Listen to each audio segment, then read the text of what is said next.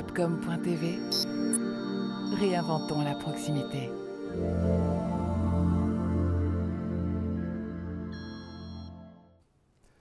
Bonjour à tous et bienvenue sur webcom.tv. Merci d'être avec nous pour cette belle aventure. Euh, pourquoi webcom.tv Pourquoi ce magazine? Nous allons parler pendant 90 minutes, mais pas que ça. Nous allons parler de plusieurs sujets euh, qui nous intéressent tous au plus haut niveau en ces moments incertains. Alors merci d'être avec nous. C'est vraiment c'est une première pour nous et soyez indulgents. Donc si jamais il y a des petits couacs, que ce soit technique ou pas technique. Alors c'est quoi Webcom TV Pourquoi un mag? Ben, Comme vous le voyez, c'est d'abord un plateau télé interactif euh, où l'on peut être connecté avec pas mal de monde. D'ailleurs, vous êtes des centaines à être connectés en ce moment dans les quatre coins du monde. À l'image de cette carte que vous voyez derrière moi, cette carte mondiale avec des petites lumières qui clignotent, nous avons énormément de connexions de la France, euh, de la Suisse. J'ai promis un petit coucou à, notre ami Chris en Suisse. Bon, voilà, ça c'est fait. Euh, beaucoup de monde du Maroc et vous allez comprendre pourquoi dans un instant. Nos amis en Algérie, en Tunisie, en Belgique également. Je fais un coucou à Bernadette, à qui j'ai promis un petit coucou. Eh bien, au Canada, puisque figurez-vous qu'on a des gens qui se sont levés à 4 heures du matin au Canada pour nous suivre. Et je fais un coucou à, ma cousine qui est dans un, un, état que je ne sais jamais prononcer, qui s'appelle, je crois, euh, le nouveau Brosnik, en tout cas tout ce que je sais que c'est, c'est, l'état de Blake le Rock pour ceux qui ont connu les bandes dessinées à mon âge. Euh, les jeunes, ne cherchez pas, c'est très loin tout ça. Alors, je fais un coucou à tous nos amis à Rabat, à Marrakech, à Casablanca. Je sais que vous êtes tous nombreux derrière votre écran à nous suivre et j'expliquerai tout à l'heure pourquoi est-ce que vous êtes tous là. Euh, bien évidemment, on a des gens de partout. Figurez-vous que nous avons même 10 connexions, euh, une douzaine de connexions aux États-Unis, une connexion en Australie. Vous imaginez l'Australie euh, Je ne sais même pas, avec, le décalage horaire, s'ils sont avec nous, s'ils sont aujourd'hui, s'ils sont hier, s'ils vont être avec nous demain, aucune idée. Alors, permettez-moi, je vais leur faire quand même un petit coucou. Hi everyone, you are in America, Australia. It's amazing to be connected together. Thanks for being with us. Alors, comme vous le voyez, donc, euh, je vais remercier aussi nos amis dans toute l'Europe, en Espagne, enfin j'en passe. Qu'est-ce que ça veut dire tout ça? Eh bien, ça veut dire que déjà, à ce moment précis, nous avons tous ensemble réussi un exploit. C'est quoi cet exploit? C'est que nous avons réussi à briser les frontières à un moment où elles sont toutes fermées où elles sont étanches et en tout cas, elles sont difficiles à franchir. Donc, comme vous le voyez, pas besoin de prendre l'avion, pas besoin de faire votre test Covid pour qu'on soit ensemble. Donc, tout est simple et ça nous permet d'être connectés, de communiquer différemment. Donc, c'est une autre forme de proximité que nous sommes en train d'explorer en ce moment même. Alors, on n'a pas fait ça du jour au lendemain, ça nous a pris quand même six mois de travail. Il y a toute une équipe derrière. Il faut savoir que je ne suis pas seul, qu'il y a du monde.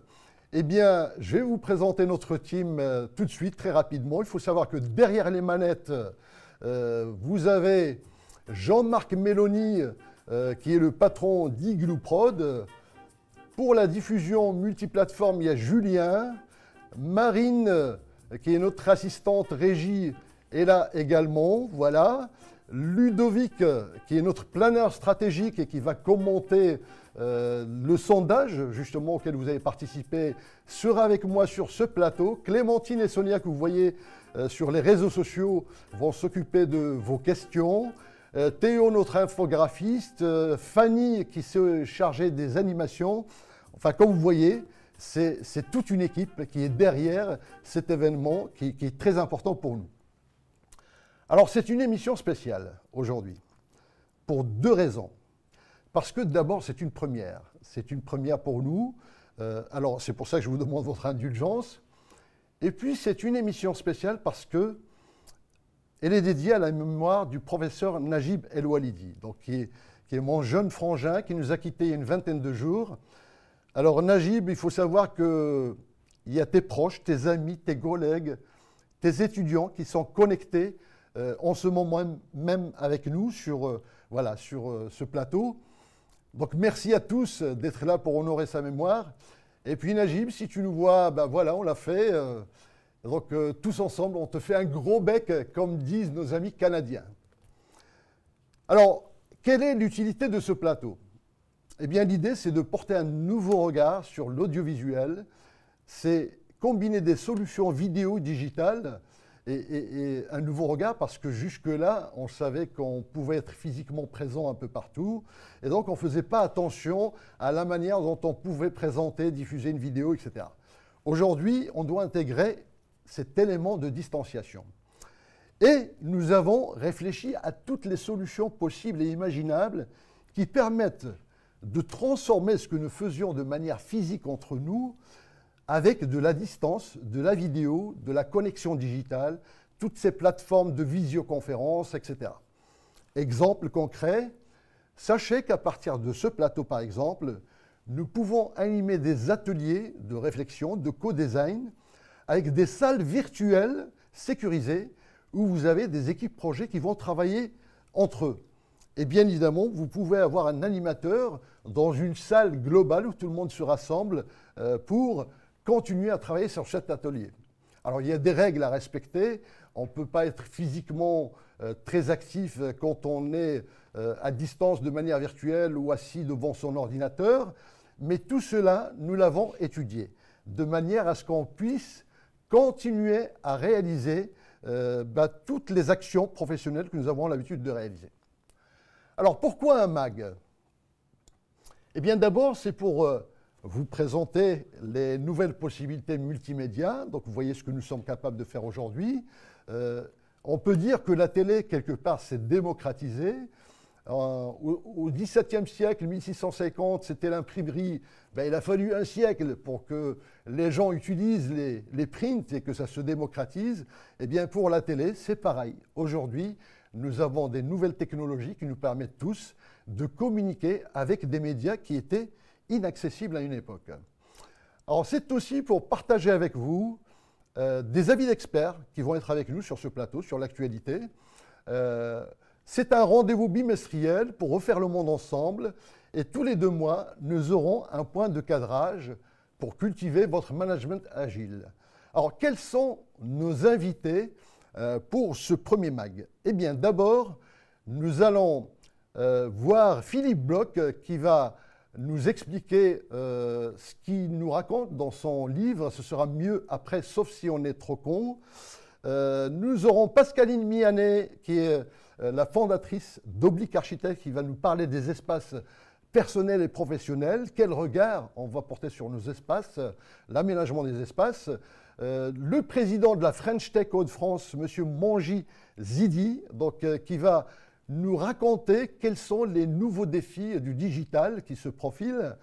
Et puis enfin, j'aurai sur ce plateau Bruno Acou, fédéré, pour fédérer des dynamiques collectives. Il a créé un écosystème qui s'appelle Oupi. Ben voilà, donc je vais dire à tout le monde, donc ici, de faire un petit Oupi à tout le monde. Alors, à 1, 2, 3, tous ensemble. Oupi Voilà, vous les avez entendus. Eh bien, ce sera le lancement de notre MAG.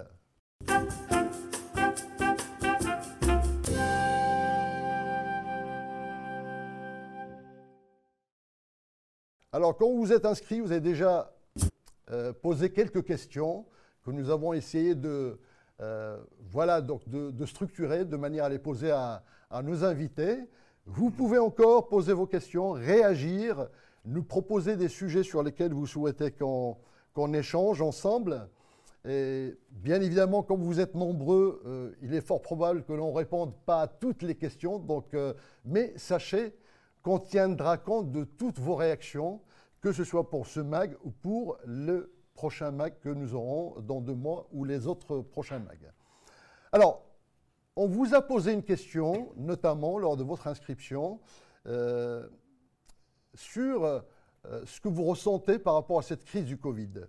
Alors, quel est le résultat du sondage Avec moi, donc, on, va voir Ludovic euh, pour présenter ce résultat-là. Ludovic, bonjour. Bonjour voilà, vous êtes planeur stratégique. C'est à vous qu'on s'adresse, notamment pour la conception, rédaction, structuration de contenu, analyse. Et merci d'être avec nous pour, être notre chroniqueur aujourd'hui sur euh, différents sujets, notamment pour analyser dans un premier temps les résultats de notre sondage. Alors, dans ce sondage, je vais demander à la régie de présenter tout de suite le résultat. On vous a posé une question. Voilà. Comment est-ce que vous considérez cette crise sanitaire? Alors, comme vous voyez Ludovic, regardez, on a, on a une espèce de gâteau qui est divisé en quatre parties. Euh, est-ce que vous pouvez nous commenter euh, ces chiffres? Oui, alors ce que l'on peut retenir effectivement là ce, matin, nous rassemblons finalement un cercle de, penseurs et d'acteurs positifs, de ceux qui ont déjà basculé dans la, dans la positive attitude, hein, comme, euh, comme on disait à, un moment. Euh, c'est important puisque si on s'autorise à, rassembler ceux qui ont coché, euh, c'est une opportunité pour l'humanité, c'est une crise comme les autres, et les, sans-avis, on, arrive à 80% euh, de ceux qui nous regardent qui sont déjà disposés à faire et à faire face surtout. Et c'est ça qui est, important aujourd'hui à retenir. Bien évidemment, les, 19% qui qualifient encore euh, la, période de catastrophe mondiale ne se trompent pas, naturellement, mais n'ont peut-être pas encore engagé le, chemin, le cheminement vers, vers, la résiliation, vers la restructuration, ce fameux apprendre à vivre avec. Voilà ce qu'on peut retenir de, de ceux qui nous suivent ce matin. Alors, ce que je vois, ce que je vois, c'est que on a quand même 40%. Euh, il y a un chiffre quand même plus important que les autres. 40% de personnes euh, qui disent que euh, c'est une opportunité pour l'humanité. C'est ceux qui sont déjà dans le faire probablement, ceux qui ont déjà engagé des démarches effectivement pour pour mieux vivre et accepter effectivement la situation telle qu'elle s'impose à nous, puisque on, le reverra à d'autres moments dans l'émission, mais force est de constater que de toute façon, il faut apprendre à vivre avec et qu'on en a encore pour, pour un moment. Et donc, le vrai sujet aujourd'hui est de trouver les, nouvelles réponses et les bonnes réponses. Très bien. Alors justement, donc, euh, bon, grosso modo, ce qu'on peut retenir, c'est que quand même, euh, sur euh, les résultats de ce sondage, qui, où on a eu à peu près 300 réponses, vous avez été 300 à y répondre, 80% de personnes ont été plutôt positives, vivent avec cette, cette crise, 81% exactement, et 19% où il y a encore un sentiment anxiogène par rapport à cette crise. Alors ce que nous espérons tous, c'est réduire ce taux de 19%, vous rendre tous plus ou moins, si ce n'est positif, tout au moins avoir un esprit de résilience. Et je crois que les interventions de tous euh, nos intervenants, nos invités aujourd'hui, peuvent vous aider à avoir cet esprit et à vous rassurer, tout simplement. Donc voilà, alors justement, on a voulu, Ludovic, en savoir un petit peu plus, on, on a mené euh, je pense, une analyse euh, sur les émotions que cette crise sanitaire a générées. On connaît la courbe du deuil, euh, le, schéma, alors je ne sais plus, donc le déni, la colère, etc.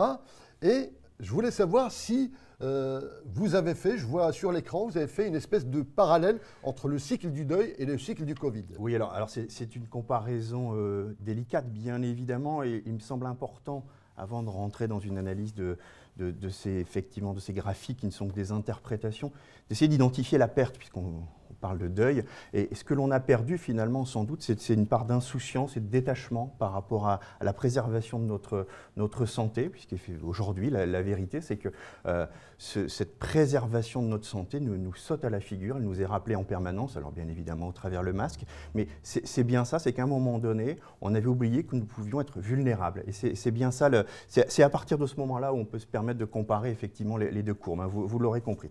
Alors le premier constat, c'est que D'abord, dans le, dans le, cycle du Covid, il y a beaucoup plus d'émotions que dans le cycle du deuil. Euh, on verra hein, qu'il y a des émotions qui n'en sont peut-être pas tout à fait. Euh, le, choc du deuil est remplacé par, par la surprise, la déroute et, l'instinct de survie. Alors la, la, déroute, elle est liée sans doute à cette période où euh, on a regardé tout ça de très loin, où on s'est dit qu'effectivement, euh, ça ne pouvait plus nous arriver, hein, bien évidemment, on n'était plus habitué à être vulnérable, encore une fois, ce, mot qui revient. L'empathie, elle s'est exprimée très fortement, puisque euh, d'abord auprès des personnes qui en ont été malheureusement victimes et en sont encore aujourd'hui malheureusement victimes, mais aussi auprès des personnels soignants, on l'a bien vu, et de toutes celles et ceux qui nous ont permis de, survivre pendant cette fameuse période de confinement. Et on s'est aperçu effectivement que les caissières, les caissiers devenaient tout d'un coup des super-héros. Voilà. Et donc c'est cette empathie qui a pris le pas sur beaucoup d'émotions. Et est apparu, est apparu dans les différentes interprétations qui ont été faites du cycle du Covid, le digital. Alors, est-ce que le digital est une émotion?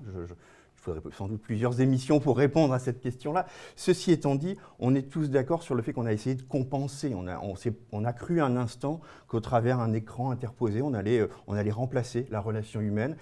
Force est de constater que ça ne suffit pas et qu'aujourd'hui, dans nombre d'entreprises, on, en parlait encore tout à l'heure, là, juste avant de démarrer, dans nombre d'entreprises se pose la question du parfait équilibre entre le présentiel et le distanciel, euh, l'un ne pouvant jamais remplacer totalement l'autre, et c'est vraiment la combinaison entre les deux euh, approches qui, fera la différence. Alors là, euh, là pardon, Ludo, et qu'on est tenu par le temps, je suis désolé. J'en arrive à la fin. Voilà, alors il y a justement un slide, je pense, qui est intéressant, donc vous avez tenu, alors pour la petite histoire, dans la régie, ils m'ont dit, bah, pourquoi on va mettre un slide avec deux mots comme ça Alors, je crois que ça a son importance pour vous. C'est effectivement très important puisque force est de constater qu'aujourd'hui, la seule manière de s'en sortir, c'est de basculer, et il faut que ce cercle prenne de plus en plus de place, et ça rejoint le sondage de tout à l'heure, hein, dans la résilience et dans la restructuration. Et euh, la, restructuration, je voudrais juste être précis sur chaque mot, c'est ce moment où toute personne prend conscience qu'elle est en train de se réorganiser pour répondre aux obligations liées à toute vie en société. Et je pense que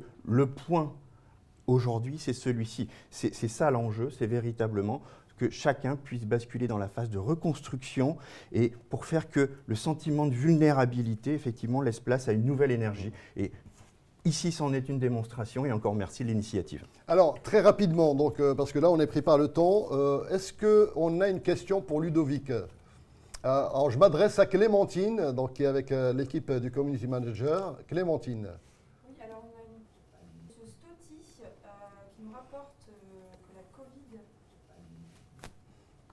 Oui, que la Covid Que la Covid a imposé des formes de retranchement. Euh, alors, euh, selon vous, quels réflexes, gestes, formes de communication, de comportement euh, pour réapprendre à utiliser, pour réapprendre à se sociabiliser? Alors, j'en profite parce que j'ai une autre question, Ludovic, qui va dans le même sens. c'est quelqu'un qui nous demande quel est l'impact psychologique de la distanciation, surtout chez les personnes âgées. Donc, euh, en fait, euh, la question de M. Stotti, c'est euh, est-ce qu'il y a d'autres formes de communication qu'on doit inventer Maintenant qu'on a cette distance, on ne peut plus se toucher. Mm. Comment est-ce qu'on peut communiquer et, surtout se sociabiliser différemment? D'accord. Alors, en, premier lieu, je voudrais m'intéresser au, terme de retranchement qui a été utilisé. Peut-être opposé, ou en tout cas plutôt retenir celui d'introspection, parce que dans, cette période, il nous est sans doute tous arrivé de rencontrer euh, notamment des, responsables, des chefs d'entreprise, qui en ont profité aussi pour faire un vrai travail d'introspection qui donne lieu aujourd'hui à la naissance de nouvelles dynamiques, de, nouveaux, de nouvelles énergies, justement. Euh, et ce à quoi nous sommes invités, c'est simplement la possibilité de réapprendre le contact finalement, développer de nouvelles formes et de nouvelles manières de dire, avec les yeux plutôt, avec des intonations, avec des mots mieux choisis sans doute, avec davantage de nuances, de subtilité et de justesse finalement, nous avons la possibilité de, redéfinir la proximité qu'on a réellement envie d'établir et de développer notre sensibilité à l'autre. Et peut-être que cette sensibilité à l'autre, ce sera ma seule réponse aujourd'hui sur la question effectivement de la distanciation vis-à-vis des personnes âgées. Mais euh, on sait que c'est un sujet extrêmement compliqué euh, où il faut laisser le temps au temps aussi et les bonnes pratiques de s'installer. Je pense qu'on ne peut rien imaginer comme solution miracle. Eh bien, c'est parfait. Regardez, j'apprends à vous parler avec les yeux. Je ne sais pas ce que vous voyez dans mes yeux, mais en tout cas, je vais vous dire une chose, c'est que là, on va voir encore quelqu'un. Merci en tout cas Ludovic, merci, pour toutes ces, analyses. On va voir quelqu'un qui va nous parler de tout ça, mais avec ses propres mots. Eh bien, c'est Monsieur Philippe Bloch qui est l'auteur euh, du livre Ce sera mieux après, sauf si on est trop con. Et donc, sachez que c'est un journaliste euh, chez BFM Business, c'est un entrepreneur. Et il n'a pas pu être avec nous sur ce plateau. Euh, il était également pris sur un autre plateau télé. Eh bien, on a quand même enregistré l'entretien qu'on a eu avec lui. Et je vous invite vraiment à savourer chaque mot de ce qu'il va nous raconter. C'est extraordinaire. Voici Philippe Bloch.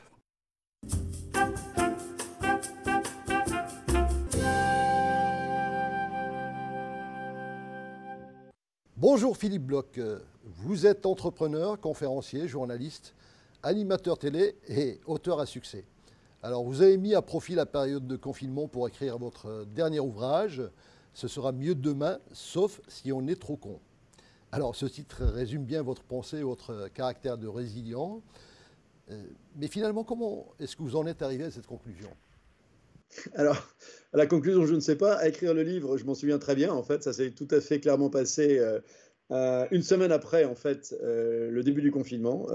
Cette décision absolument historique d'un président de la République qui décide de rendre la France disciplinée en 24 heures, ce qui ne s'était absolument jamais vu. C'est-à-dire que on, est, fasciné d'ailleurs par cette discipline dont nous avons fait preuve, dont il faut quand même rappeler que c'est pas qu'on était discipliné et qu'on est devenu des Japonais en 24 heures, c'est juste qu'on a eu les jetons, qu'on a eu extrêmement peur de ce qui est en train de se passer et que la peur en ce moment est probablement ce qui mène le monde. Euh, et comme tout le monde, ben, j'ai été confiné, j'ai dû me, me déplacer en fait dans le sud de la France et au bout de quelques jours de Netflix, je me suis dit que peut-être que c'était pas la seule chose qui pouvait sortir de bien euh, de ce confinement, de rattraper mon retard sur des séries américaines. Et j'ai commencé à réfléchir un peu. Du coup, euh, j'ai tout de suite compris, en fait, de manière extrêmement intuitive, en fait, une chose que je n'arrête pas de répéter finalement depuis quelques semaines, c'est que contrairement à ce qu'on nous pensions tous, c'est-à-dire qu'on pensait que le, 21e siècle avait démarré euh, il y a 20 ans, bah pas du tout en fait. Il a démarré il y a quelques mois, à mon avis, à Wuhan en Chine, dans une ville dont personne ne connaissait le nom avant que nous le découvrions par ce virus terrible issus de je ne sais pas quoi, un pangolin, une chauve-souris, etc. Et en fait, euh, pour nous, Français, le 21e siècle a démarré le 15 mars 2020. Je dis ça parce que j'entendais récemment un philosophe dire que c'est presque, même si euh, c'est pas vraiment une guerre, là, pourtant le virus a quand même fait un million de morts déjà, mais un philosophe disait c'est notre deuxième guerre mondiale à nous, en ce sens que c'était le véritable tournant du siècle précédent je pense sincèrement que c'est un peu ce qui est en train de se passer. Ce siècle, c'est que les Américains décrivent depuis quelques années comme celui du VUCA, qui est celui de la volatilité, de l'incertitude, de la complexité, de l'ambiguïté. C'est clairement l'environnement dans lequel nous sommes. En cette rentrée, on y viendra peut-être tout à l'heure, mais on vit clairement à l'ère essentiellement de l'incertitude et de l'anxiété, du manque total de visibilité sur notre avenir. On vit un siècle en fait euh, sans, sans boussole. Je, je relisais récemment un texte intéressant de Hervé Seriex qui est un garçon que vous avez peut-être connu, mais qui faisait beaucoup de conférences il y a quelques années. Et il décrivait ce siècle sans boussole comme étant le siècle où on a perdu la maîtrise du réel avec l'irruption du virtuel. On a perdu en fait la maîtrise du local avec l'omnipotence du mondial et ses effets papillons. Lorsque le confinement a été déclaré, je me souviens avoir fait un post sur LinkedIn que j'ai intitulé Effet papillon, effet domino, en référence à ce, vol de chauve-souris qui est en train de bouleverser l'ensemble de la planète, de nos habitudes de consommation, de vie, euh, nos, démocraties, etc. Et effet papillon, effet domino, parce que tout est en train d'être réinventé, d'être repensé. Donc on a vraiment maîtrisé ça parce que le mondial a pris le pas sur le local.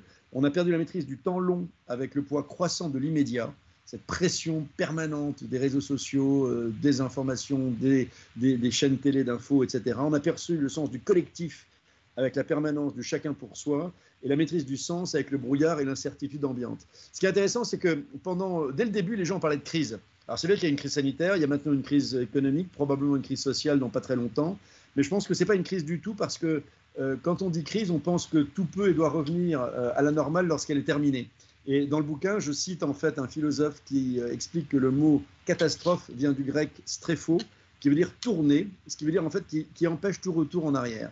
Et je pense que c'est vraiment ça qui est en train de se passer. C'est-à-dire qu'on s'en aperçoit pas forcément, et c'est la raison pour laquelle je me suis mis à écrire ce livre de manière un peu frénétique, parce que je l'ai écrit en trois mois, deux mois et demi d'ailleurs. Il est sorti, il a été quasiment écrit fin mai, et je l'ai, euh, j'ai fait en sorte de publier début juillet. Parce que mon impression, c'est que c'est rarissime que le monde s'arrête, que 3 milliards d'individus vivent ce qu'on a vécu. C'est-à-dire, on a marqué une pause. Et cette, crise, qui est aussi un peu une crise de la vitesse et de la mobilité, on a arrêté de bouger, on a arrêté de courir, et on a commencé un peu à réfléchir, en tout cas euh, la plupart d'entre nous, et à repenser euh, vers quoi on voulait orienter nos vies, quel sens on voulait donner à nos existences, quel sens on voulait donner au travail, à notre consommation, aux médias, à la démocratie, euh, à la mondialisation, à la politique, etc.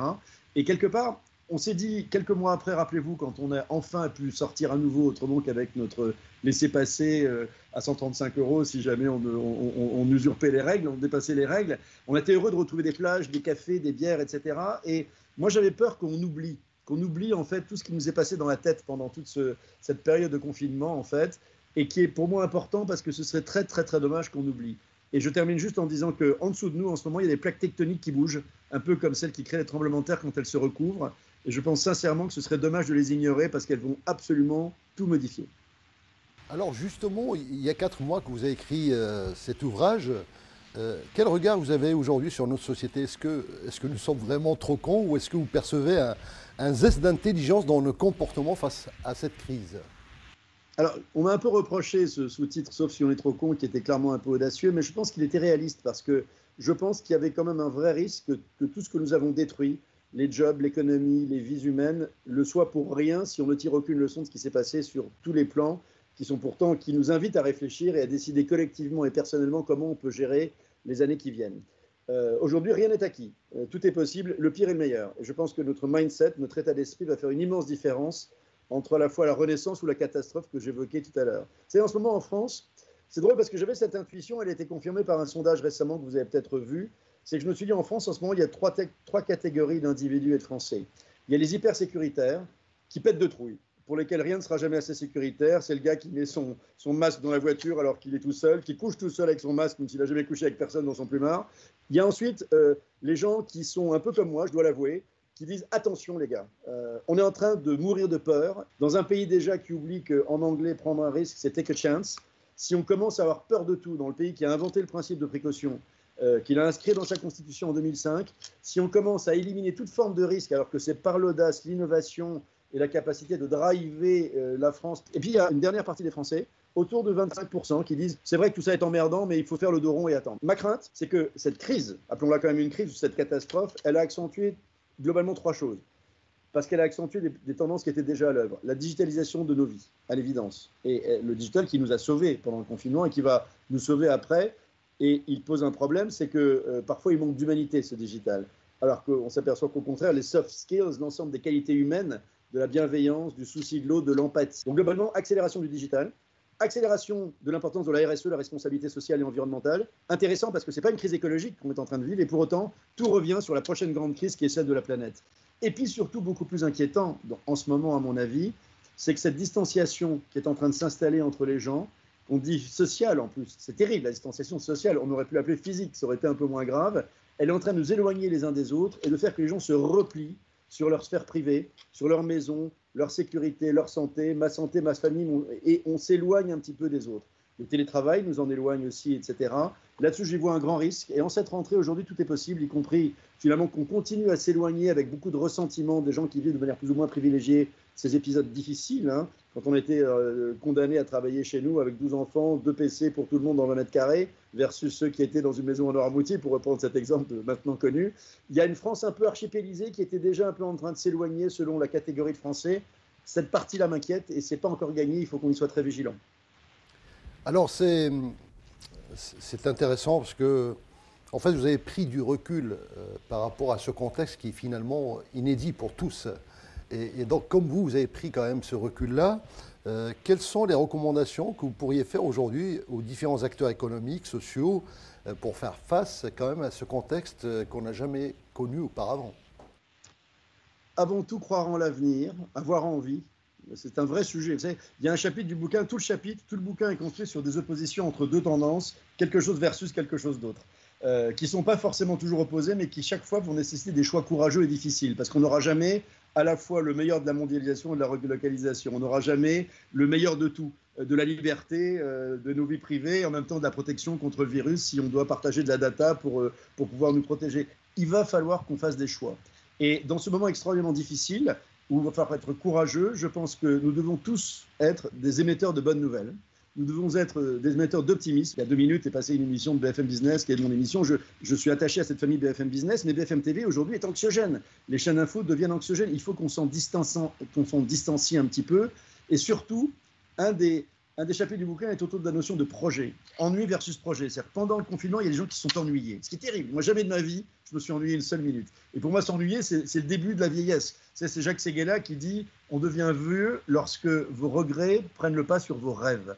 Ben, J'ai envie de donner comme clé de l'avenir cette envie d'avoir envie, cette capacité à générer des projets. C'est-à-dire que on est dans notre, on est chez nous, on est masqué, on est chez nous, on n'ose pas sortir, on va plus au restaurant, on, travaille de chez nous. là, en ce moment, on, travaille, on se communique avec des écrans. Habib, on se connaît, on s'est connu que par, euh, finalement, par téléphone interposé. C'est abominable. J'aimerais vous voir, j'aimerais vous toucher, j'aimerais vous parler, j'aimerais vos yeux qui brillent, non pas à travers des masques. Et ben, quand on a ça, il faut qu'on recrée des projets, il faut qu'on recrée en fait de l'envie d'avoir envie. Et vous savez, les gens sont inquiets, mais je pense que le job des leaders d'opinion, quels qu'ils soient, qu'ils soient entrepreneurs, leaders, dirigeants, managers, c'est de montrer qu'ils ont une vision, qu'ils connaissent la destination, même si le chemin importe peu. Parce que le chemin, pendant quelques temps, ça va être très chaud. Euh, et même si je suis toujours un peu, moi, l'optimiste de service qui dit youpla boum, la vie est belle, ça va être sympa. Non, les quelques mois qui viennent ne vont pas être sympas. Ils vont être difficiles. Je suis convaincu que d'ici, allez, un à deux ans, tout va se reconstruire sur des bases beaucoup plus saines dans beaucoup, beaucoup de domaines. Mais on va clairement passer par un moment difficile. Et je pense qu'il faut qu'on s'appuie sur les plus forts d'entre nous, ceux qui sont capables justement d'être ces importateurs d'emmerdement et ces exportateurs d'envie, d'avenir et d'optimisme.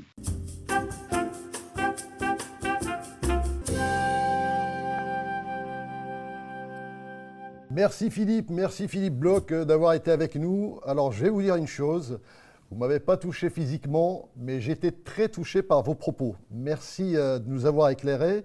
Je sais que vous avez dit à peine le dixième de ce qui est dans cet ouvrage, et j'invite euh, donc j'invite vraiment tout le monde à lire ce bouquin qui s'intitule Ça ira. Alors ce sera mieux après, c'est pas ça ira, ce sera mieux après, sauf si on est trop con.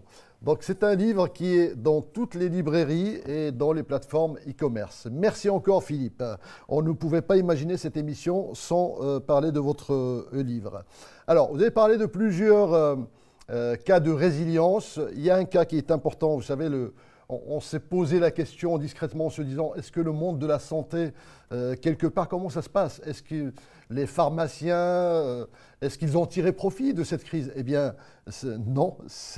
Il faut savoir qu'ils sont aussi impactés que les autres, parce que pendant euh, que ils s'occupent d'être les distributeurs exclusifs de tout ce qui tourne autour de ce Covid, ben, ils ne traitent pas les autres pathologies.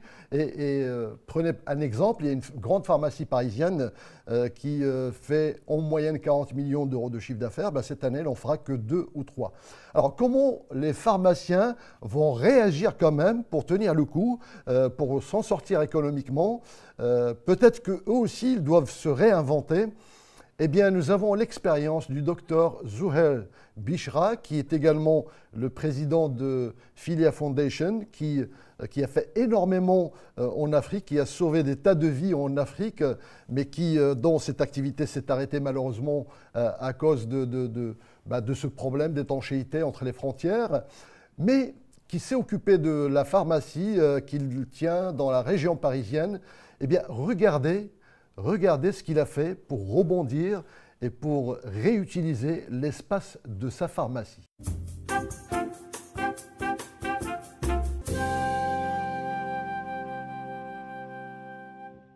Alors devant cette crise, il ne faut pas rester juste passif et attentif.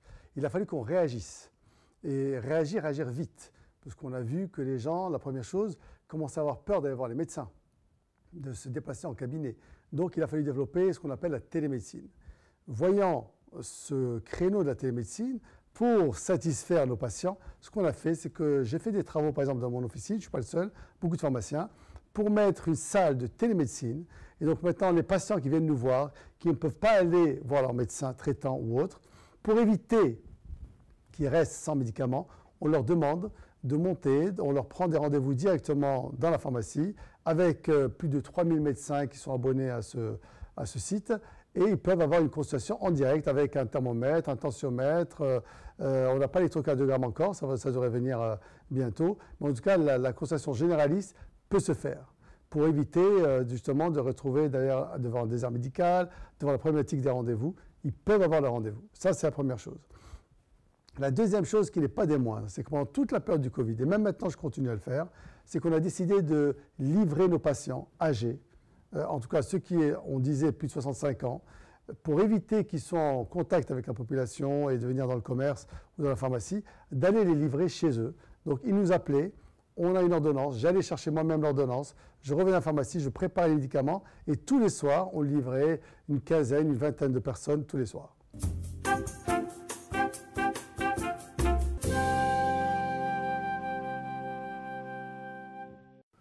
Merci au docteur euh, Bichrad de nous avoir accordé cet entretien également. Euh, eh bien, euh, on a vu effectivement que la digitalisation croissante touche tout le monde, y compris les pharmaciens. mais comme vous l'avez vu, nous avons aussi une autre façon d'imaginer nos espaces, que ce soit les espaces professionnels ou les espaces personnels. Donc avec cette expérience de confinement, euh, avec toutes ces contraintes qu'on a à l'extérieur finalement, euh, est-ce qu'il n'y a pas un regard nouveau qu'on doit porter sur nos espaces Est-ce qu'il n'y a pas un cocooning? Comment ça se passe dans les entreprises quand il y a du télétravail et que les bureaux sont désertés?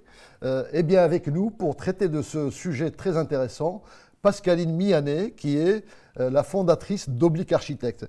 Pascaline, merci d'être avec nous donc, euh, sur ce plateau pour cette première, pour nous parler des espaces, euh, à la fois personnels et professionnels. Alors, première question que j'ai envie de poser, est-ce que vous avez ressenti un impact de cette crise par rapport à, ce que vous demandent vos clients, fait, par rapport aux espaces personnels ou professionnels? Merci de l'invitation. Donc oui, effectivement, on a, ressenti un impact face aux demandes. Les gens se sont posés pendant le confinement. Ils, se sont, ils ont pris le temps de réfléchir aux espaces qui les entouraient, aussi bien chez eux qu'en entreprise. Et donc c'est vrai qu'on a des demandes de réaménagement, d'extension et d'utilisation de l'extérieur. Être bien chez soi, c'est devenu quelque chose de très important. Absolument. Et alors, euh, par exemple, qu'est-ce qu'il vous demande Est-ce que, euh, en quoi est-ce qu'un architecte, est-ce qu'il y a un exemple, par exemple, euh, en tant qu'architecte, que vous pouvez nous, nous donner sur, parce que j'imagine il y a des gens qui ont des espaces très exigus où ils veulent créer beaucoup de choses. Voilà, exactement. Donc, on, a beaucoup de demandes sur le fait de cultiver donc les extérieurs, cultiver le jardin, la permaculture. Les gens se tournent énormément sur sur euh, le fait de cultiver, euh, de prendre soin d'eux. Ah, ça, je confirme parce que je, connais tout plein de monde dans la famille qui euh, ont tous commencé à faire des potagers chez eux. Donc, je vous fais un petit coucou. Donc, ils savent de qui je parle. Oui. Voilà, ils, prennent soin d'eux. Donc, les gens ont envie de prendre soin d'eux à la fois dans les espaces, dans les espaces qui les entourent, mais aussi dans ce qu'ils mangent et dans ce qu'ils peuvent produire chez eux. Donc, on a des demandes particulières, alors que ce soit en milieu urbain, donc très dense, ou à la campagne, évidemment, où c'est plus facile de positionner, par exemple, des serres. Et euh, récemment, donc, on a eu euh, quelqu'un qui voulait installer une serre avec plein de fonctions dedans. Donc, euh, à l'agence, on fait aussi ce genre d'études.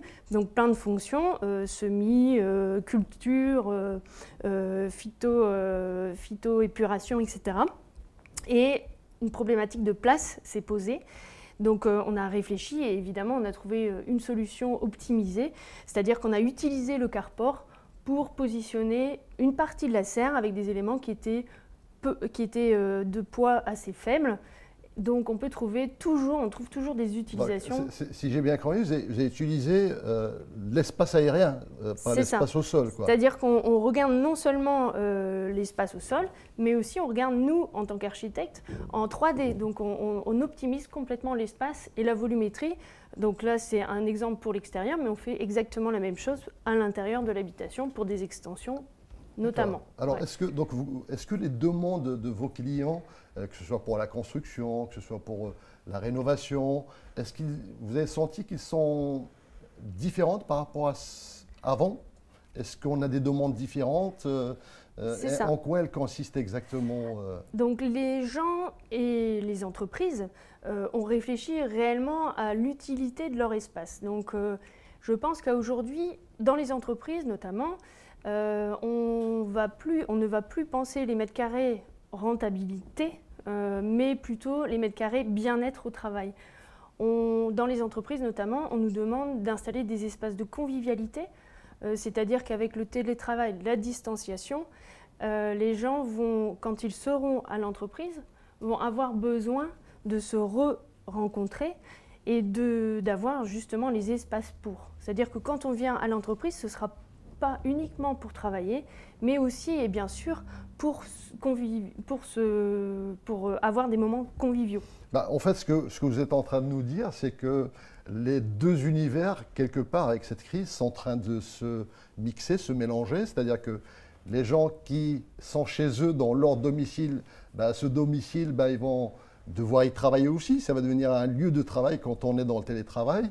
Et quand on est dans les entreprises, peut-être, pourquoi pas, se dire, eh bien, on, est aussi chez nous. C'est un peu ça, la tendance. La tendance serait que, effectivement, à l'entreprise, on puisse offrir ce que les gens n'ont pas chez eux, par exemple dans, les, dans les milieux urbains, avoir de l'espace euh, quand on est dans des zones très denses, j'imagine dans les grandes agglomérations, euh, les gens auraient besoin d'espace, d'espace extérieur, de grandes pièces pour respirer. Donc l'entreprise devient un moment de respiration pour les gens qui, arrivent à l'entreprise. Et puis à l'intérieur euh, des maisons, des habitations, on se crée des sous-espaces euh, de travail euh, et c'est un peu la difficulté qu'on a aujourd'hui. Donc nous, on réfléchit beaucoup sur ce thème-là, c'est-à-dire que comment, dans un espace existant, recréer un espace agréable pour travailler et donc avoir ces deux fonctions à l'intérieur de la maison, c'est-à-dire le travail et euh, la vie euh, familiale. Alors on me fait signe de loin en me disant qu'il y a une question pour vous, Pascaline. Euh, bon, bah, Clémentine, allez-y. Oui, on a une question de Sandrine qui nous dit, donc pour ceux qui n'ont jamais prévu de travailler chez eux et qui vivent dans un appartement, euh, où leur conseillez-vous de prévoir un espace pour le télétravail? Donc on a quand même pour exemple de la part de Sandrine euh, dans le salon, la cuisine, la chambre ou, la salle à manger? D'accord. Question très précise. Hein Alors, euh, je dirais que tout comme l'habitation, il n'y a pas une réponse. on, est chacun différent face au travail et face à la manière dont on utilise l'espace. Donc, il faut d'abord, dans un premier temps, analyser comment on travaille. Euh, la deuxième chose, donc ça c'est pour, euh, pour faire quelque chose de très particulier et très personnalisé.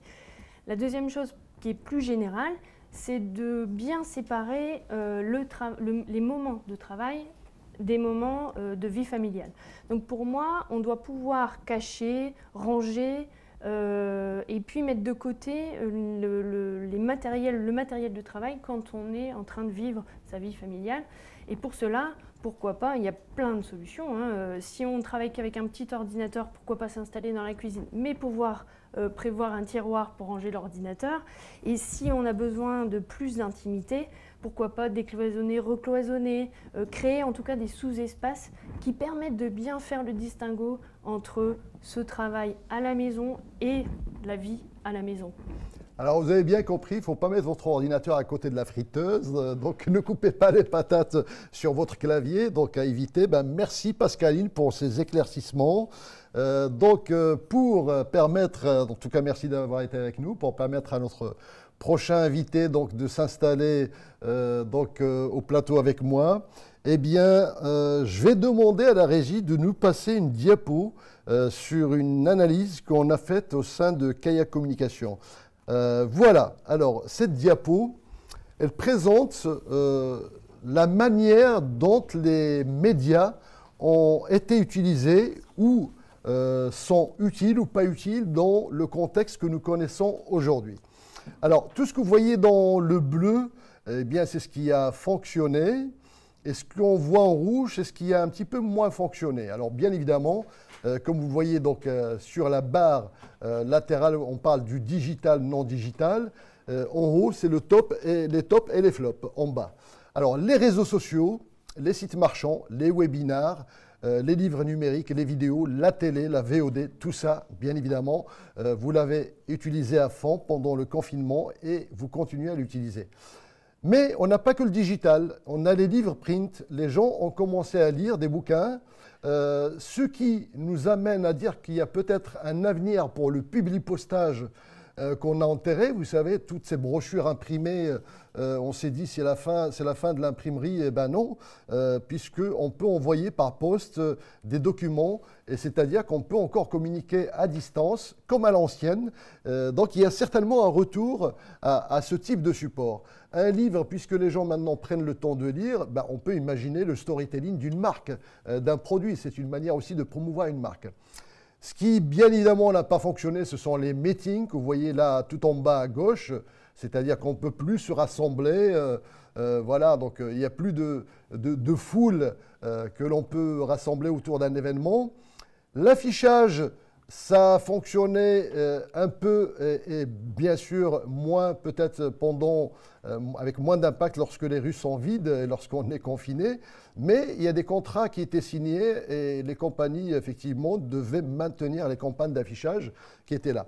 Alors deux, un petit mot sur l'emailing et surtout sur l'automation marketing. C'est quoi l'automation marketing? Vous savez, c'est tous ces emails que vous recevez et qui reviennent et qui en fait euh, ne sont générés que par un logiciel ou un robot qui vous les renvoie en disant bah, Je vous ai fait une proposition la semaine euh, dernière, est-ce que vous ne m'avez pas répondu Est-ce que vous me répondez maintenant etc. Donc sachez que ça, c'est quelque chose qui commence à moins fonctionner parce que on se rend bien compte que ce n'est pas très humain, que, que c'est les mêmes textes d'ailleurs qui sont repris, et c'est l'erreur que commettent euh, sûrement, en tout cas les annonceurs qui s'occupent de ça. Et puis un autre mot sur le phoning. Euh, j'imagine tous que vous avez reçu ou vous recevez des coups de fil pour qu'on essaye de vous vendre à la fois euh, des services, des produits. Eh bien, sachez que selon une étude qui a été faite récemment, eh bien, aujourd'hui, les gens n'aiment pas n'aiment pas être agressés euh, par le téléphone. C'est-à-dire qu'ils veulent prendre leur destin en main, que ce soit eux qui prennent l'initiative euh, de euh, choisir leurs produits. c'est à eux de téléphoner, d'appeler, etc. Mais quand on les appelle, quand on les appelle, eh bien, ils n'aiment pas trop. Donc, ce n'est pas la peine de, trop insister, ou en tout cas, il faudra étudier ça d'une manière différente. Alors, ça me donne une belle transition puisque, comme vous l'avez vu sur les médias, le digital est très important, a été très important sur, euh, euh, sur cette période. En tout cas, ça continue à l'être. Et avec nous, nous avons le plaisir d'accueillir euh, Monsieur Zidi, qui est le président de la French Tech Hauts-de-France. Alors, je voudrais rappeler quand même que Monsieur Zidi euh, c'est l'un des pionniers, en tout cas du digital, dans les Hauts-de-France, au nord de la France, puisque je me rappelle très bien, c'est dans les années 90, avec euh, les deux compères, euh, les deux Eric, Eric Rufflard et Eric Delot, ben, vous avez été les premiers à installer des bornes interactives. Et ça, on s'est dit, qu'est-ce que c'est que ce truc-là? C'est fou. Donc, c'était fou, en tout cas, dans les années 90. Vous avez numérisé, et c'est pas rien, toute la médiathèque du Vatican. C'est un gros, gros dossier euh, qui a été fait par votre groupe Archimède, qui compte plusieurs entreprises, dont euh, la société Neoledge, aujourd'hui qu'on trouve également en Tunisie. Euh, Neoledge, que je rappelle, qui vient d'avoir un prix Microsoft, notamment sur la GED, la gestion électronique de documents, et Neoledge, qui a été retenu pour digitaliser la présidence et tous les ministères de la Tunisie. C'est-à-dire que derrière tout ce qui est digital, vous avez mangé Zidi. Et puis, dernier point, je viens d'apprendre quelque chose, c'est que pendant le confinement, la ville de Paris a distribué, je ne sais pas si vous le savez, plein de livres plein de livres à des, jeunes, à, à, des adultes. Elle a distribué énormément de bouquins pour que les gens puissent lire chez eux. Eh bien, sachez que derrière cette opération, il y avait encore Monsieur Zidi, puisque euh, c'est le groupe Archimède qui s'est chargé de la gestion numérique de toute cette diffusion. Merci en tout cas d'être avec nous. Et, ma première question, c'est euh, quel impact euh, de cette crise avec le digital Quel est votre regard sur cette crise par rapport à la partie digitale Je rappelle juste mine de rien, je ne l'ai pas dit depuis tout à l'heure, vous voyez un petit filet ici en fait, c'est juste, c'est juste une plaque euh, pour, pour euh, la sécurité Covid, et donc c'est important. Donc, ce n'est pas un défaut sur vos télés, donc jouez pas avec la télécommande. Alors, monsieur Zidi, dites-moi. Merci, Habib. Euh, voilà, effectivement, aujourd'hui, on peut avoir différents regards de cette pandémie. Le digital, effectivement, une fois on s'est posé la question, si on a eu cette pandémie pendant les années 80, à mon avis, ça aurait un résultat très catastrophique en absence des outils qu'on a aujourd'hui. Et effectivement, le digital a été un axe de, proximité, un axe de, transformer toutes ces, crises aussi en opportunités et faciliter surtout, euh, euh, parce que le, jour au lendemain, euh, dès le vendredi, en 16 mars, il fallait demander aux collaborateurs de prendre leur portable et rentrer chez eux. Vous imaginez si on n'avait pas ces, possibilités de technologie qui nous permettaient de garder le contact avec nos collaborateurs, nos clients, nos fournisseurs, nos partenaires. Effectivement, le digital a joué son rôle, totalement son rôle, pour apaiser un petit peu pendant cette, période un peu difficile euh, qu'on a eue par surprise parce qu'on n'a pas du tout été préparé. nos clients aussi, les collectivités, les grands ministères, vous imaginez, sans, sans, outils technologiques, ça aurait été très difficile de garder le contact et, surtout assurer une continuité professionnelle. Effectivement, aujourd'hui, on peut, on peut voir un regard euh, un peu je dirais, euh, positif de dire que grâce aux technologies, nous avons pu apporter euh, quelques éléments. La difficulté et la crise, elle est là, on ne peut pas l'ignorer, mais les outils ont été au rendez-vous, ont été là pour vraiment rapprocher un monde où on a presque tout dématérialisé. même nos réunions, même nos signatures des documents, des contrats, et jusqu'au des parapheurs numériques. Aujourd'hui, euh, euh, l'accélération qu'on a pu avoir pendant cette période de pandémie par les nouvelles technologies nous ont euh, donné presque 5, 7, 8 ans d'avance. Mais ce qui est intéressant, Monsieur Zidi, c'est que vous, vous avez chez Archimède, dans le groupe et chez Neoledge, vous avez presque anticipé cette situation, puisque vous êtes à la base de la création, enfin vous avez travaillé très tôt sur les signatures électroniques, euh, sur euh, tout ce qui peut être numérisé euh, et dans la communication digitale entre les entreprises, les acteurs économiques, comme si vous aviez senti qu'un jour la planète se serait arrêtée, qu'on n'aurait plus de contact. Bon, vous l'avez fait bien évidemment dans un autre esprit, mais, ce qui est intéressant, c'est comme on dirait qu'il y avait une espèce d'anticipation. Euh, je peux vous assurer, on n'avait pas anticipé la pandémie, mais par contre, on avait euh, anticipé la modernisation des process, la dématérialisation des process et surtout euh, l'accompagnement de nos clients dans la manière et les outils pour que l'espace et le temps ne soient le plus accélérés. Effectivement, quand on parlait des parapheurs numériques pour des ministres ou des maires ou des députés, c'est une façon d'apporter une souplesse on va parler de flexwork, parce qu'en flexwork, c'est un terme où maintenant les consultants commencent à en parler, parce que... Tout le monde doit être flex. Exactement, et, effectivement, notre, notre ADN a été, grâce au document numérique qui, qui fait partie de notre ADN depuis 26 euh, ans, et, avec les outils euh, aujourd'hui que Neoledge a mis à, à disposition de tous les décideurs et le collaborateur euh, jusqu'aux citoyens, c'est comment apporter ce mode de dématérialisation comme un élément de progrès.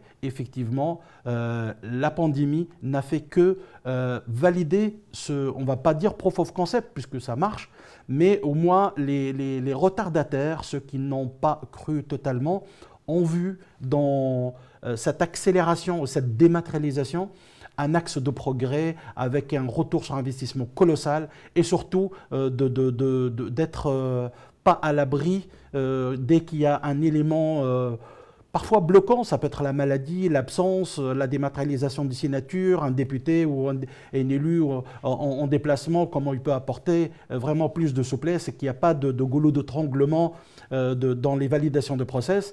Effectivement, Neoledge a validé cette approche-là, comme Archimède dans le livre numérique. Effectivement, le prêt de livre numérique nous a été un élément euh, préparé d'avance, mais on n'a jamais vraiment imaginé que pendant la pandémie et le confinement, la ville de Paris, comme, euh, comme Montpellier et beaucoup de grandes villes en France, ont multiplié par 100 le nombre de prêts de livres numériques et on a été très content que éditeurs comme les, les, auteurs ont joué le jeu pour ne pas bloquer puisqu'on n'avait même pas eu le temps d'augmenter le nombre d'accès simultanés Rapidement, on a ouvert le robinet et ça a été un, succès fabuleux sur lequel aujourd'hui tous nos clients euh, continuent à investir dans la dématérialisation et le prêt de livres numériques. Euh, effectivement, on doit travailler aussi sur cette fracture numérique parce que même si on prête le livre numérique, on souhaite que la tablette soit aussi équipée de, de, puces télécom pour que le gamin dans les quartiers défavorisés puisse aussi euh, vraiment emprunter des livres numériques et les lire chez lui, exactement comme euh, les enfants ou, les adultes des familles euh, aisées. Est-ce qu'il y, a des nouveaux défis que le monde du digital doit relever aujourd'hui? Est-ce qu'on est sur une, une, lancée, une accélération du digital ou est-ce qu'on est en train d'entrer dans une nouvelle ère peut-être qui ne dit pas son nom? Honnêtement, moi, mon sentiment, c'est qu'on on a compris beaucoup de choses. La première, c'est euh, l'aspect humain. Contrairement voilà, à un homme de digital qui parle, plus que jamais, on, a senti qu'on a besoin euh, d'outils et des opportunités pour que l'humain soit beaucoup plus proche, plus présent dans tous nos process. On a compris que oui, la famille est un élément aussi important et que le télétravail euh, doit être un mixte parce que c'est un débat actuel hein, chez euh, toutes les entreprises, pas seulement du digital, où on est en train de, dire mais quel est le ratio? Quel est le point d'équilibre euh, Trois jours, deux jours de télétravail, euh, trois jours en présentiel? Bon, en fait, tout dépend des métiers, tout dépend de l'équilibre qu'on doit trouver pour apporter cette stabilité et, ce sentiment de, vraiment de, confort et surtout d'être le plus attaché et, proche un petit peu des métiers euh, qui nous apprennent le jour, tous les jours, euh, qu'on doit euh, se poser la question comment on peut apporter ce flex work pour qu'il y ait un win-win, un win économique, un win social et un win vraiment qui nous permet d'avancer. Bien, nous avons encore quelques minutes avec M. Mongy. Alors, est-ce qu'on, je crois qu'on a une question. On a une question de Nicolas. Alors, malgré euh, l'usage intensif du digital pendant le confinement, cette crise a conduit quelques startups à la faillite, notamment celles qui devaient faire une levée de fonds et pour qui tout s'est arrêté le 15 mars, alors qu'elles avaient encore des dettes à éponger et des salaires à payer. Alors, comment motiver les porteurs de projets qui aujourd'hui ont peur de tomber dans la même situation? Alors, j'en profite pour poser une question qui a été posée également dans le même esprit. Quelqu'un qui dit comment les startups pourront transformer cette situation qualifiée de crise en opportunité d'affaires. Euh, Effectivement, euh, euh, aujourd'hui, on va parler des deux sujets, le premier qui est la levée de fonds, effectivement, euh, la levée de fonds, en temps normal, demande beaucoup de, de process et, et validation, et parfois c'est pas si facile. Ma- malgré, malgré ça, on peut vous dire que pendant le confinement, euh, le, budget, en fait, la, valeur de la levée de fonds a été supérieure euh, à l'année 2019, contrairement à ce qu'on imagine.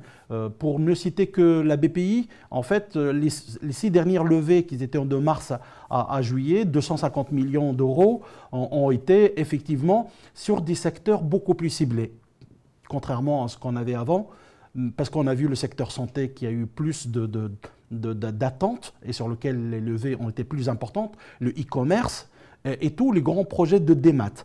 Effectivement, euh, tout le conseil que je peux dire aux startups, c'est que euh, votre business plan, il ne doit pas être le même qu'avant le Covid ou pendant le Covid.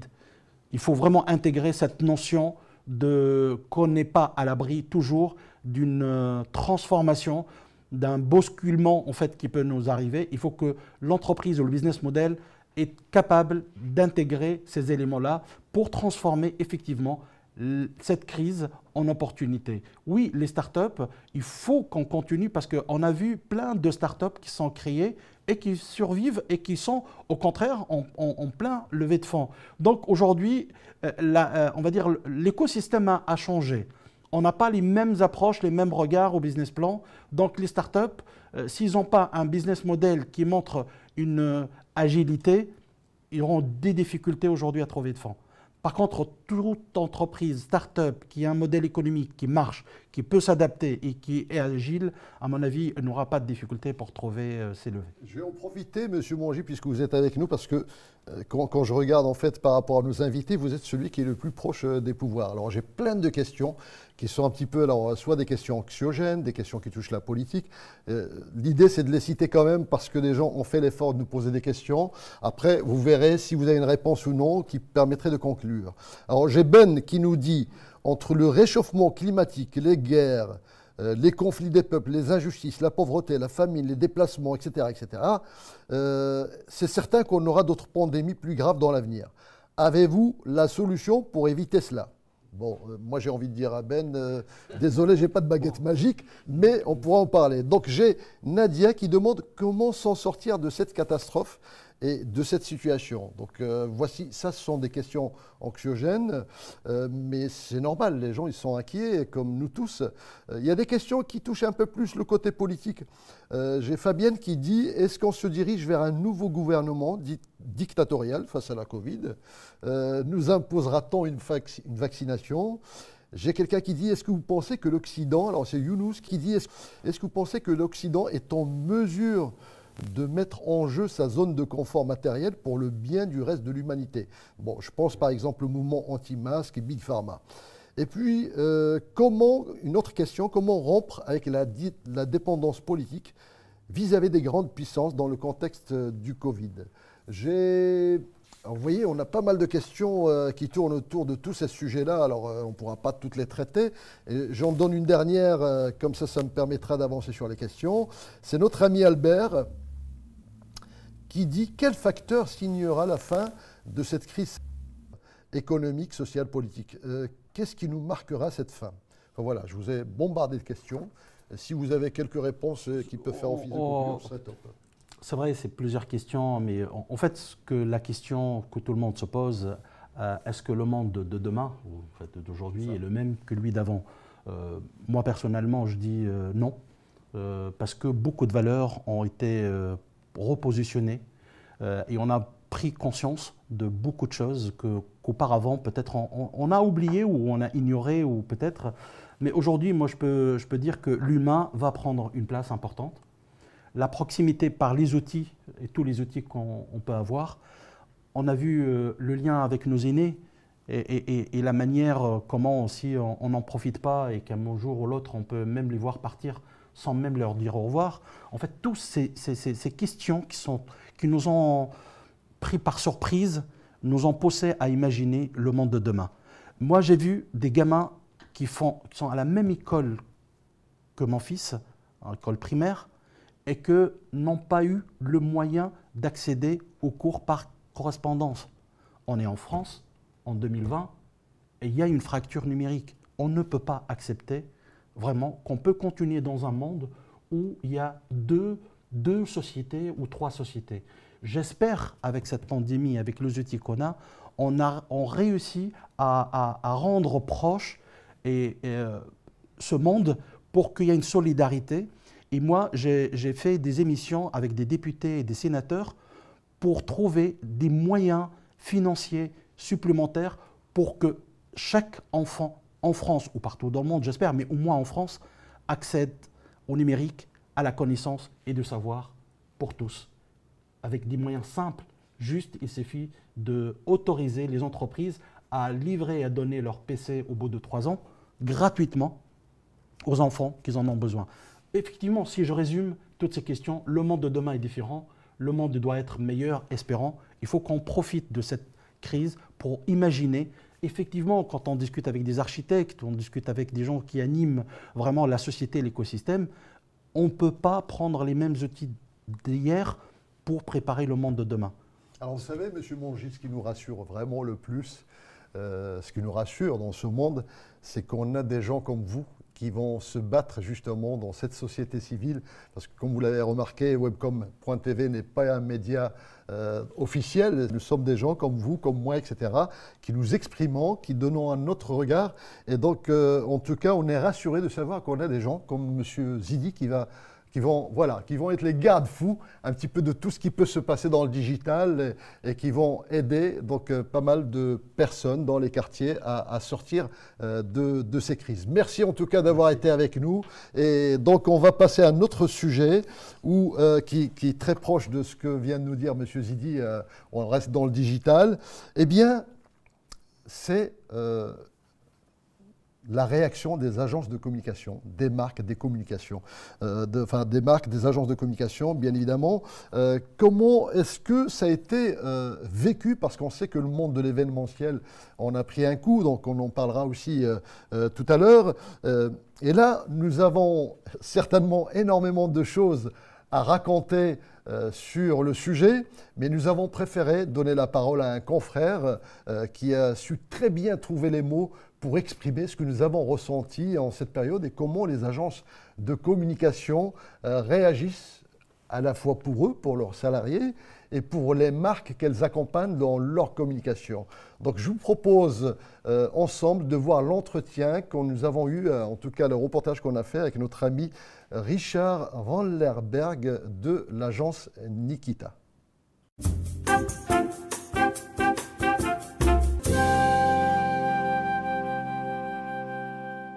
Concernant la proximité avec les clients et, de se dire, tiens, comment, comment on va se sortir de, ce bazar, hein, de cette crise euh, où on peut, euh, même en resserrant les liens avec eux, se dire euh, comment ça se passe. Moi, je crois qu'il y a une histoire aussi d'humilité et d'audace. Mixer les deux, c'est-à-dire avec beaucoup d'humilité, se dire que, bah, je sais pas, on ne sait pas comment on va y arriver, mais on va y arriver. Et donc, d'impliquer chacun, je pense aux collaborateurs de l'entreprise, mais je pense aussi chez nos clients, pas forcément le dirigeant, mais aussi les collaborateurs de cette entreprise, les clients de nos clients, et, de mettre chacun autour de la table et de, réfléchir ensemble sur comment réinventer les meilleures façons de communiquer. C'est notre job avant tout de réinventer tout ça. Et on, trouve des solutions en étant à fond focus sur la mise en avant des discours vrais, de l'authenticité, plus trop de bullshit, c'est-à-dire euh, de communication qui dit euh, avec euh, beaucoup de force, je suis le meilleur, et venez chez moi acheter tous mes produits. Non, non, là on, va au cœur de l'ADN de l'entreprise et de la marque et on l'exprime en produisant des contenus, en les performant, c'est-à-dire en, en, étant en étude et en étude d'impact, euh, et, je crois que, ça, c'est la clé pour euh, une meilleure communication demain. Alors l'agence Nikita a traversé euh, pas mal de crises hein, depuis maintenant 29 ans. D'ailleurs, l'agence a été créée en 1991. Je ne sais pas si tu t'en rappelles, mais en 91, c'était la loi Sapin et qui transformait complètement et du jour au lendemain le modèle économique de l'entreprise. Et nous, on s'est installé avec Valérie Doucineau, mon associé, on s'est installé cette année, pendant cette crise, tout le monde nous disait, mais vous êtes dingue, comment vous allez faire? Et on s'est dit, bah, ce sera bien, ce sera mieux, on sera indépendant et ce sera bien. Et euh, au fil des années, bah, on a traversé des crises, hein. il y a eu 2008, 2009, euh, bref, on, a traversé des crises internes ou, conjoncturelles. Et, finalement, on s'est toujours dit que ça ira. Euh, cet esprit positif, j'en parlais tout à l'heure, cet esprit positif, c'est pour un dirigeant, je pense que c'est la clé, une des clés. Euh, on s'est dit que, ouais, tant ça fait peur. Hein. Et il y a un rideau de feu devant nous. Il y a, euh, un peu comme au cirque, hein, il y a un rideau de feu, et puis tu vas ou tu vas pas, tu le traverses ou pas? Eh bien, si on se dit que derrière c'est pas mal, ben moi je pense qu'on va y aller. Je pense qu'on va le traverser. Alors comment on a rebondi face à cette crise? Euh, D'abord, on a eu un moment de sidération. Même si on entendait parler, on avait commencé à anticiper quelques petits trucs, mais on a eu ce moment de, sidération, en tout cas en tant que dirigeant avec mon associé. On a eu cette, euh, allez, ces deux, trois jours de waouh, tout le monde est parti, tout le monde est en télétravail maintenant et, voilà, qu'est-ce qu'on fait? Et finalement, beaucoup de nos clients se sont posé la même question, se sont dit euh, qu'est-ce qu'on fait? Donc, euh, on a resserré les liens avec nos clients, on les a appelés un par un pour demander comment ils allaient, avec beaucoup de bienveillance et, et aussi ouais, dans l'intimité avec nos clients. Et, euh, voilà, euh, on a partagé nos sentiments, nos émotions. Et finalement, ben, on s'est mis à leur disposition pour, euh, ben, pour réfléchir avec eux sur, sur comment faire, comment continuer finalement à, à, travailler, à avoir des opérations, à faire du commerce. Et voilà, ça s'est passé comme ça. Alors moi, je crois que la meilleure attitude à avoir, c'est d'être soi-même et de bien savoir pourquoi on fait ce métier, qui on est. Donc, pour les marques et nos clients, c'est pareil. C'est quoi ton ADN C'est quoi ta raison d'être À l'agence, euh, on, s'est basé sur nos valeurs finalement, tout simplement. Euh, le respect, la positivité surtout, je vais, je vais y revenir, la bienveillance, l'authenticité. Positif, c'est dire quoi? C'est dire que ben, demain ça ira. une crise, elle se traverse. Et, demain, ça ira. Être positif, je pense que c'est euh, la clé pour un dirigeant de se dire que demain, euh, demain ça ira. Donc il s'est passé quoi? Bah, Il s'est passé que bah, on, a refait plein de plateformes de marque, on a redéfini avec nos clients leurs leur projets et on a continué à produire des contenus authentiques, vrais, positifs. et, et, voilà, on, a passé, et on est encore dans cette crise, mais euh, on, se base en tout cas sur, nos valeurs. À l'agence, euh, l'agence Nikita, on est une quarantaine. 40 bah, personnes, c'est 40 familles pour nous. Euh, c'est pas rien, c'est une sacrée responsabilité, donc, donc en sérénité, surtout il faut garder la tête froide et, et avoir du sang-froid, mais de se dire que, encore une fois, de façon très positive, on va trouver des solutions, on va être créatif, on va accélérer nos transformations, on est là pour faciliter les mutations positives de nos clients et, de leurs marques. Bah, faisons-le déjà chez nous et, accompagnons euh, nos clients du mieux qu'on peut. Et, comme ça, on, peut assurer à nos collaborateurs bah, euh, de voir le bout de cette crise et, de se dire que ce sera encore mieux euh, après cette crise.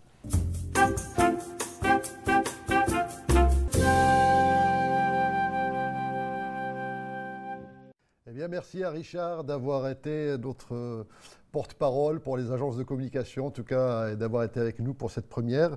J'en profite pour poser quelques questions qui tournent autour de la communication, du digital, qui ont été posées par nos participants. Donc, euh, j'ai une question. Euh, euh, alors, de Zaz, elle se reconnaîtra. quelles sont les tendances du marketing digital qui s'avéreront incontournables pendant et après la crise sanitaire? J'ai une deuxième question sur la partie digitale. Euh, en ces temps de pandémie, alors c'est asthma, euh, et de distanciation physique, comment s'y prendre pour personnaliser des présentations à travers WebEx tout en gardant l'attention des, audiences 500 à 1000 personnes? Euh, Peut-être un début de réponse, c'est que les tendances du marketing digital, bien évidemment, on voit que le digital se développe, qu'il va s'accélérer. Il y aura certainement d'autres idées qui vont naître en combinant, en combinant la vidéo, le digital. C'est ce qu'on fait en fait aujourd'hui. Euh, parce qu'il y, a, y a quelques années, il y a 20 ans, on n'aurait pas pu faire ce qu'on est en train de faire aujourd'hui. C'est-à-dire avoir une espèce de plateau télé euh, connecté où on peut nous poser des questions, répondre. Demain, peut-être qu'on arrivera à faire des choses encore qu'on n'a jamais faites auparavant. Euh, le digital a sa place parce qu'il permet de communiquer à distance. Après, on verra avec euh, certainement ce qu'on va dire avec euh, notre ami Bruno Acou que au niveau de l'événementiel, la notion de proximité et de distance va avoir peut-être d'autres sens. Alors pour tout ce qui tourne autour des présentations en visio à travers WebEx, alors vous savez, il y a, trois plateformes qui fonctionnent beaucoup en ce moment, c'est Teams, Zoom et WebEx, euh, qui sont euh, en plus, ils n'arrêtent pas de rajouter des fonctionnalités parce que c'est en train d'exploser dans tous les sens. Euh, il faut savoir juste une chose, c'est que cette crise, on recevait une invitation un webinar tous les deux mois. Aujourd'hui, vous en recevez 5, 6 euh, par jour. Euh, on a tout simplement une explosion à 1800% euh, de ce dispositif de webconférence, webinar, etc. Alors bien évidemment, on ne pourrait pas toutes les voir et quand il y a trop de webinars, ça peut tuer les webinars. C'est pour ça que nous, d'ailleurs, on, a espacé tous les deux mois, parce que d'abord, il y a toute une préparation. Il faut communiquer quand on a des choses intéressantes à communiquer. Donc ça ne sert à rien de, prendre la place. Et puis, il faut euh, faire attention au son, à l'image. Les gens, quand ils n'ont pas une bonne qualité de son et d'image, ben, ils zappent, ils passent ailleurs. On ne peut pas dépasser plus de deux heures euh, en étant assis devant un écran, sachez-le. C'est pas pareil que lorsqu'on peut se bouger dans une salle, aller prendre un café, revenir. Voilà. Donc euh, il y a plein de, critères qu'il faut mettre euh, en place. Bon, maintenant, Asma, pour vous donner des réponses beaucoup plus techniques, je vous invite à nous envoyer un message via webcom.tv et on demandera aux techniciens de vous donner vraiment la réponse exacte. deux autres questions avant de passer à notre invité quelqu'un qui dit que les médias n'aident pas à mieux comprendre, on affirme une chose et son contraire. Donc euh, et puis il y a quelqu'un qui dit le Covid, euh, la Covid, il faut savoir qu'on dit maintenant la Covid et non pas le Covid, c'était tout un débat avec l'Académie française, là en référence à, la maladie, euh, donc la Covid-19, artificielle ou naturelle. Pour la deuxième vague, on parle de mutation, la cible a changé. Comment l'expliquer scientifiquement? Bon, vous avez bien compris, on n'est pas là pour faire concurrence euh, aux médias télé qui euh, nous ressassent tout ça du matin au soir avec des scientifiques, etc. Par contre, ce qu'on peut vous dire, c'est que là, on est dans l'expression de la société civile.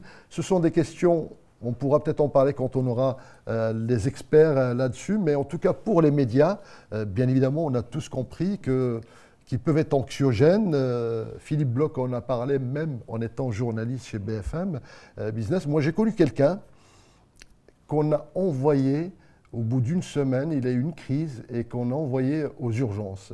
Et quand on a regardé qu'est-ce qui s'est passé, ben, on s'est rendu compte en fait qu'il regardait euh, BFM Business du matin au soir.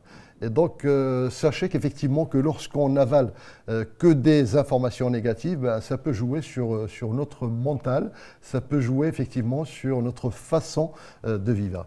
Bien évidemment, on est là pour être les gardes-fous de tout ça. Et certainement qu'on fera un magazine, je pense, ça sera le numéro 3, où on parlera des médias, plus spécialement, et on parlera des fake news, des bonnes nouvelles, des mauvaises nouvelles, comment ça se passe, etc.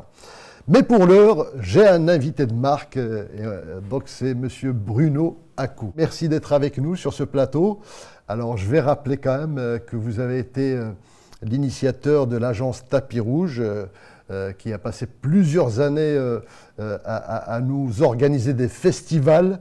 Vous avez fait des happenings dans le métro, donc on avait des liasses, mais du monde incroyable. Alors on sait que vous avez changé de métier aujourd'hui.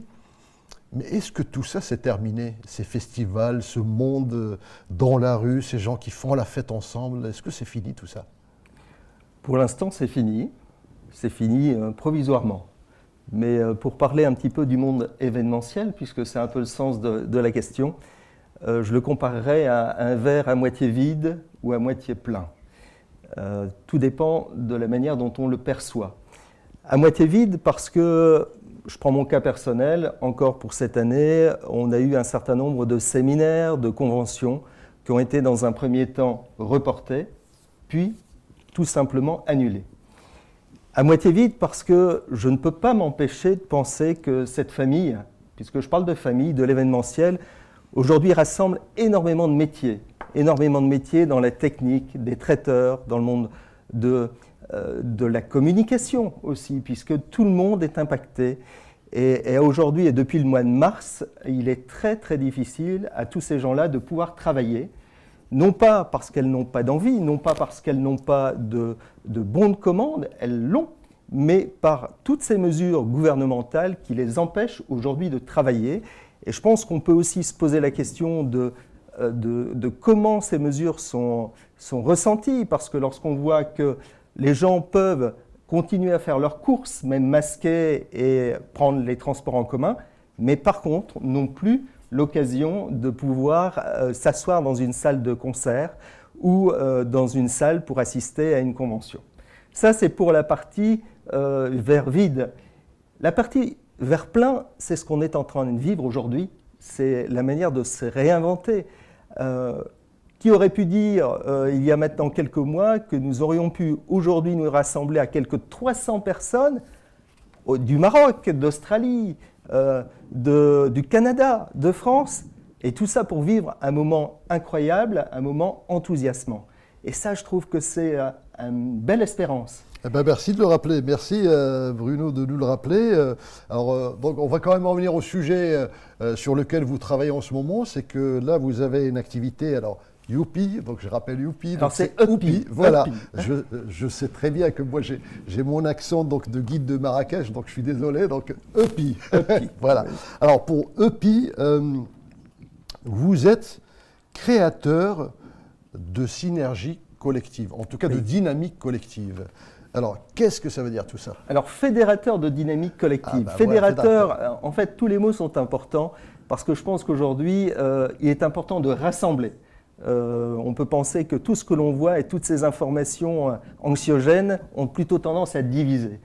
Et euh, fédérateur de dynamique, la dynamique, c'est ce qui nous rend vivants, c'est ce qui nous permet d'avancer et collective parce qu'on ne peut rien faire seul et qu'on a besoin de se rassembler.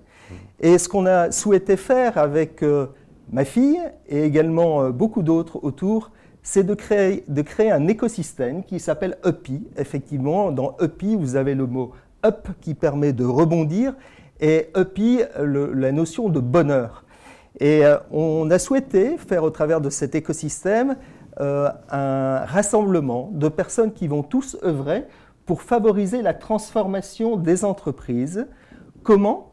En proposant des solutions qui seront co-créées entre des experts dans des domaines stratégie, communication et également relations humaines avec des collaborateurs d'entreprise. Et tous ensemble, ils vont, ils vont co-construire des solutions qui seront à la fois stratégiques et opérationnelles. Nous serons, nous, des facilitateurs. Alors justement, donc je, je, voudrais quand même rappeler le, le thème de notre euh, mag, c'est comment réinventer la proximité dans un contexte de distanciation. Est-ce que quelque part, donc ce que vous apportez là, est-ce que ça apporte une réponse, une manière de réinventer la proximité entre les gens, que ce soit dans l'entreprise, entre les entreprises et, leurs clients ou leurs contacts professionnels? Est-ce qu'il y a une réponse autour de tout ça? Oui, il y a une réponse autour de tout ça et il y a surtout un point commun. Et le point commun, le point commun, pardon, c'est vraiment de remettre l'homme au cœur, au cœur des stratégies des entreprises pour les rendre à la fois plus autonomes, plus responsabilisés et de fait plus heureux. On parle de l'homme et de la femme, attention, il y a des femmes. De l'homme avec un grand H, bien évidemment, de l'homme et de la femme. Oui.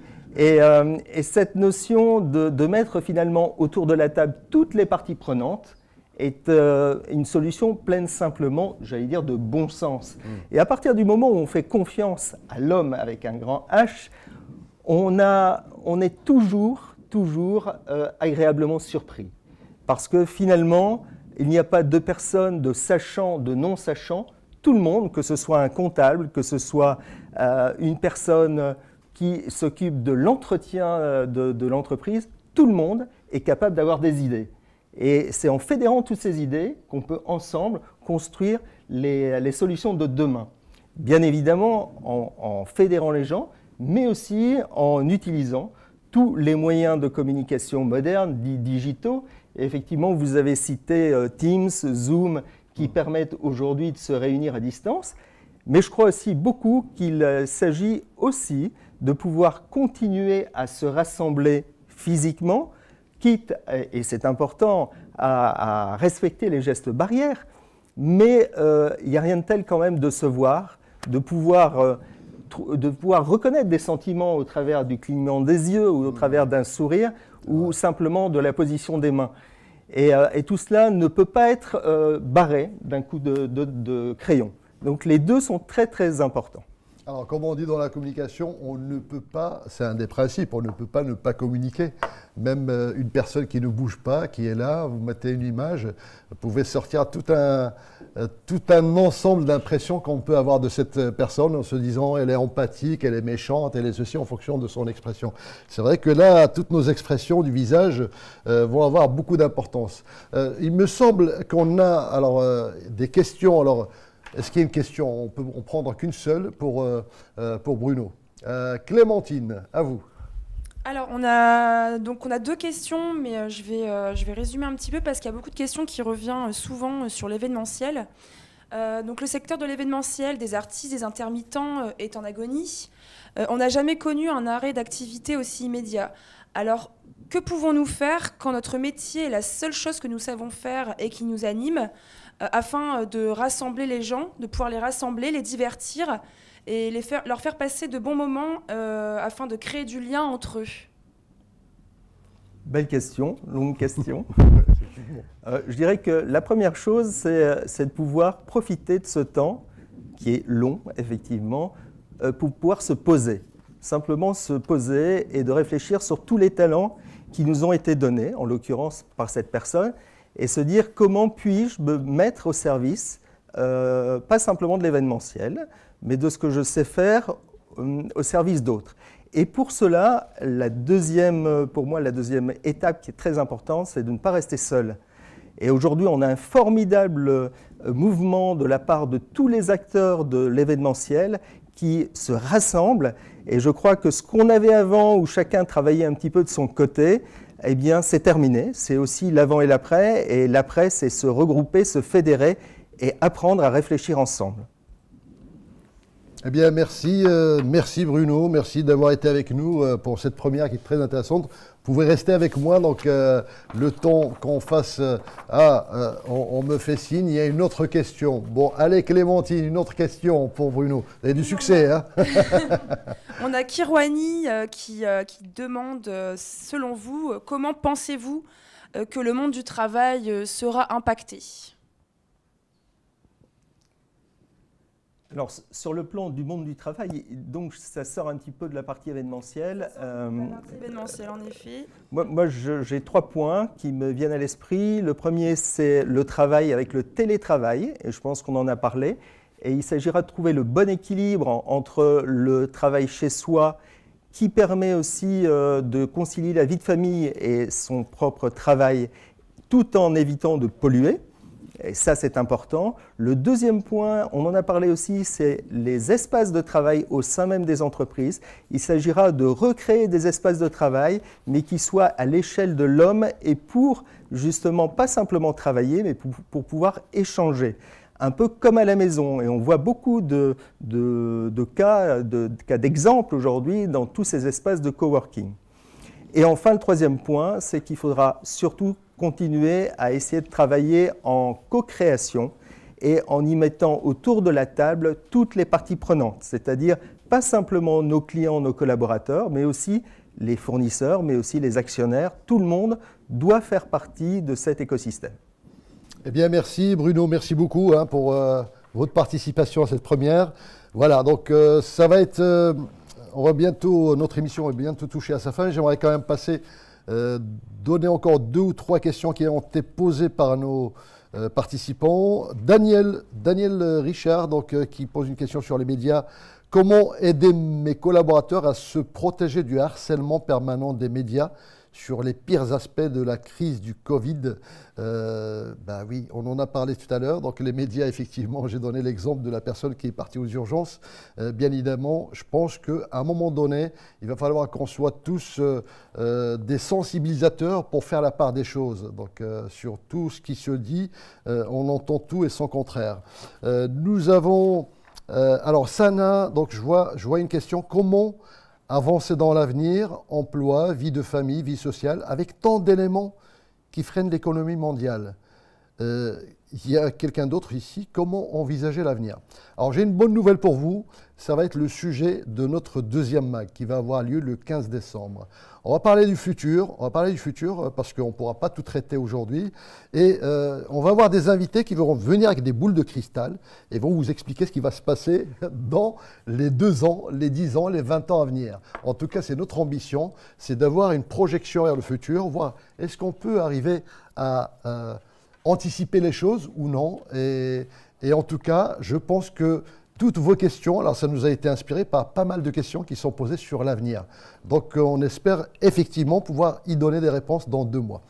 Alors j'ai une question, mais qui est plus une conclusion, parce que euh, on ne voit pas tout le texte, mais c'est toute la page. C'est Christophe.